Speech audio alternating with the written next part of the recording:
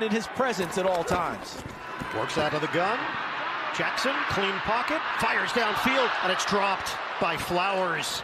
Move he was going to make after the catch. Watch, when he catches it, I think he's thinking about reversing back the other way and doesn't look the ball all the way in. Nothing lead for Baltimore. They can add to it.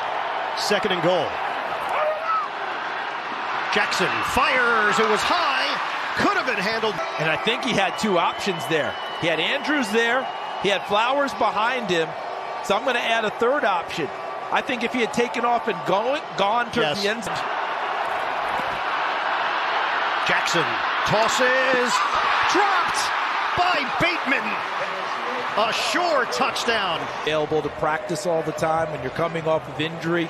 You're trying to make more of a play than what's there. Your timing's off, and you really want to contribute. Rashod Bateman has had it. He's been a less than 60% thrower in these three games. Jackson looking. And it gets jarred loose. The rookie out of Boston College. And that one's not really his fault, except and catch it cleanly. See how it's right there? If he catches it clean, just tucks it away, but he doesn't.